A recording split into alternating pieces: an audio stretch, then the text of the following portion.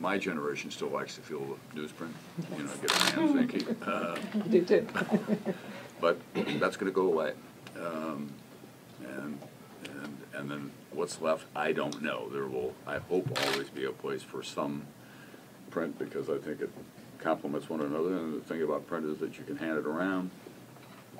Now, of course, people just say, did you see on an email or in a text message, did you see this? Or what goes viral on the internet is important. This is the first, the best line about the new technology is that it's the first time in which, um, when you have the kind of profound change that this new technology brings to us, kids are teaching their parents how to drive. I get up in the morning and read the Financial Times of London, edited by a friend of mine, and if there's something going today, for example, Margaret Thatcher dying, I wanted to see what the London newspapers had to say about that.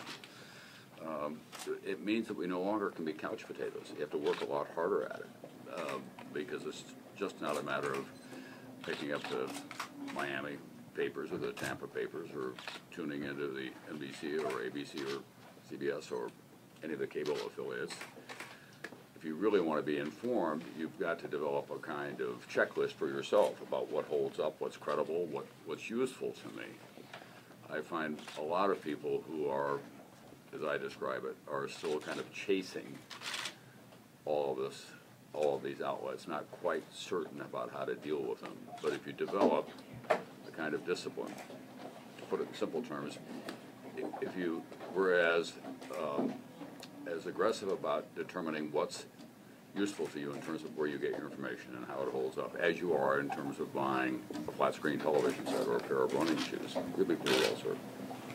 I think broadcast journalism will always be in place. Obviously, the landscape is a lot different than it was when I began.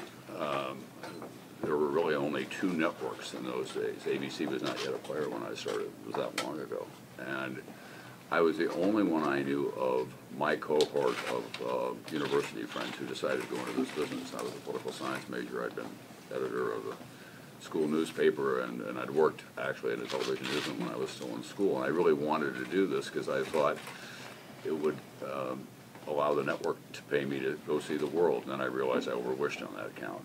I saw a lot more of it than I intended to. Um, and now it's changed profoundly, obviously, because of cable and broadcast news. And the important thing is that there's a kind of um, synergy, if you will, between the new media and what we do. And that will go on for some time. This is not going to disappear. Print's going to be reformed in a different way. And by reformed, I mean it'll take new forms.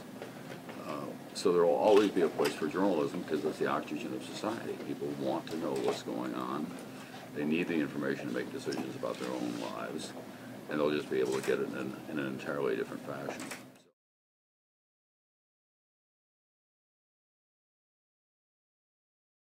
Well, I don't, I- don't necessarily say there will not be another greatest generation. I, we do not want to put anyone through what they had to go through to become what they became. It began with the Great Depression.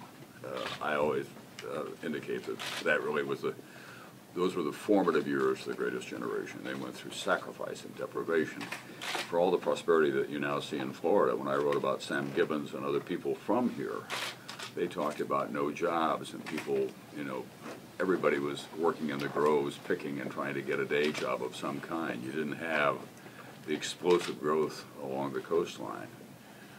So what I say to a new generation of young people coming of age, and I do two commencements every year because I, I kind of want to decide what I think and what I hope that they'll be thinking about. It really is up to them now to create their own greatness, and there are lots of issues out there. I was just uh, talking to Nightly News this morning about the importance of doing something about that young Foreign Service officer who was killed in Afghanistan over the weekend, that young woman.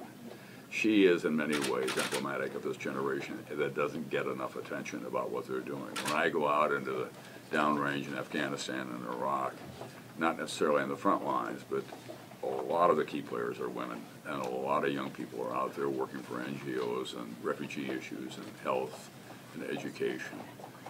Uh, and that's part of the way that you form greatness. The, it's the renewal of America constantly, that we feel that we have a, a place in the world.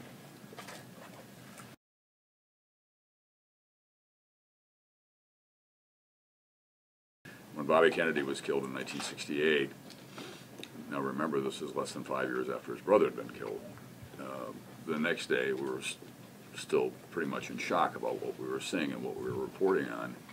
The motorcade left uh, Good Samaritan Hospital in Los Angeles and headed for the airports. And David let that motorcade play out on the screen without saying anything. And we were riveted just by the picture. He didn't really need to say anything. And then he said very briefly, for the second time in less than five years, a Kennedy widow is in a limousine behind a hearse carrying her husband's body to a western airport so it can be borne to the nation's capital and the mourning can begin. And then he shut up. That was almost a textbook on how you should describe events on television. You know, just complement what you're seeing and let the audience then Yeah. absorb what they've seen and conclude with their own thoughts. When you go on the air now, or when you go into print, most of the people who are reading or watching already know what happened. Margaret Thatcher will not be a news bulletin tonight at 6:30. So you have to tell them, what does it mean?